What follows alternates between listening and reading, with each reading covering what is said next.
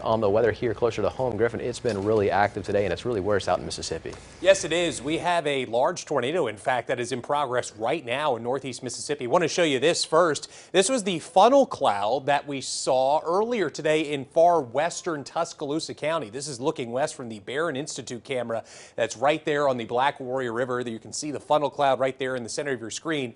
Won't know for sure if that's a confirmed tornado or not until the Weather Service completes a storm survey. A lot of the tornadoes today have been farther west in Mississippi. We had one that crossed through south of Yazoo City, another one near Byram and Terry, southwest of Jackson, Mississippi, and then one that's happening right now as I speak uh, up in northeast Mississippi up towards Tupelo, all thanks to this big storm system, the upper level low over Arkansas, storms firing up out ahead of it in both northeast Mississippi and down to the south towards uh, the Gulf coast. Here's the warning as it stands right now. This is in effect until 1045 p.m. Central Time for, again, a potentially very large tornado that just passed through uh, the central part of Tupelo, Mississippi. We have reports from law enforcement of trees and power lines that have been knocked down. Check out that rotation signature as it passed just north of downtown Tupelo. Looks like it's crossed over I-22 now and is moving up to the northeast into parts of, I believe it's Lee County and Itawamba County up in northeast Mississippi. That warning in effect until 1045 p.m.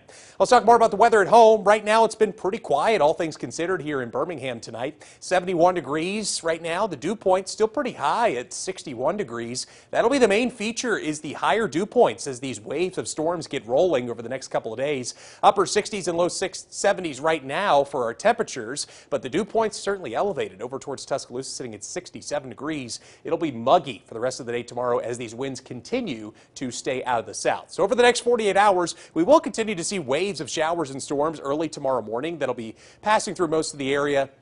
I really don't think the overall severe threat is very high for at least us for the next, uh, at least for tomorrow. A lot of the storms that do that do pop up will be pretty isolated, and the risk of them turning severe is pretty low overall. And that'll be the main thing for tomorrow afternoon as well. You see how warm we get, upper 80s potentially for our daytime highs tomorrow here in Birmingham. We see a little bit of a lull in the action uh, by tomorrow evening, and then Tuesday, we have a much more organized system that'll be passing through. This is the one I think that we really need to watch carefully because we'll have this huge cluster of storms that could uh, prompt risk for flooding and certainly some pretty strong winds as that line of storms comes in Tuesday evening. So we'll certainly be keeping an eye on that as the week progresses, or at least the forecast progresses. The rain chances 60% tomorrow, 90% for Tuesday. Certainly stay weather aware. Make sure you have downloaded the free CBS 42 News app.